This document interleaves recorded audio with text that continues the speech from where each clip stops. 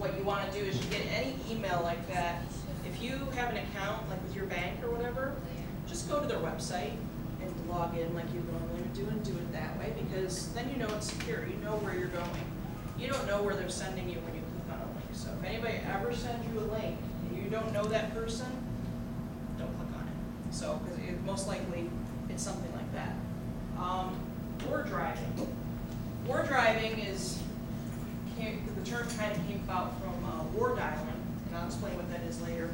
War driving is when somebody gets in their car, their, their laptop, and they drive around looking for open wireless networks. Like, you know how you can go to Starbucks and they have wireless there, you can take your computer and you can log on to the internet from Starbucks. You can do it a lot of places, like, uh, McDonald's, a lot of businesses have it now.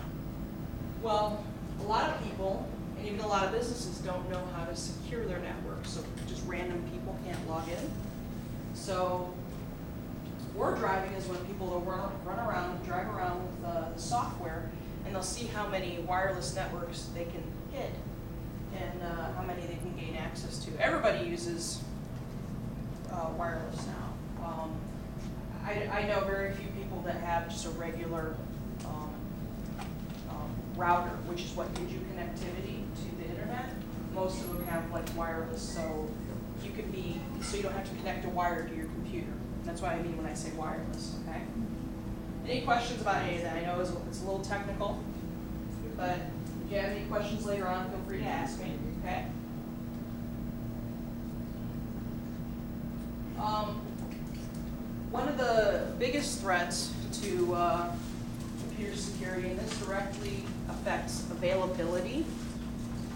Remember we talked about uh, the CIA triad and confidentiality, integrity, and availability? This affects availability. Okay, it's called a denial of service, or a DOS attack. And basically what this is, is you get a bunch of computers and you send a bunch of packets to one, uh, one computer and you, what it does is it overloads the system and it can't access anything. This would be like, um, you guys remember on nine, on nine eleven, uh, maybe you guys don't remember, I don't know, but on a nine, on nine eleven, um, it was literally impossible to get a cell phone call out okay? Because the lines were just flooded with calls, everybody was trying to call everybody else. That's basically what a denial of service is, except it's done purposefully.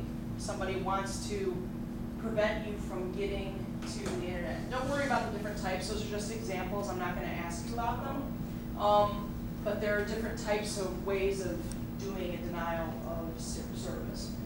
Distributed denial of service, the second bullet point, is basically taking a whole bunch of different computers and doing an attack on one target. You could do it with a single computer, you could do it with, it's much more effective if you have a lot of different computers. Say we took all these computers in this classroom and we sent a bunch of mes- messages to Mike's computer. Well, his computer probably wouldn't like that very much. So that's, that's basically what the denial of service attack is. Um, I'm not, I'm not gonna go into the different types because they're too technical, but just be aware that there are different ways of doing it. And this is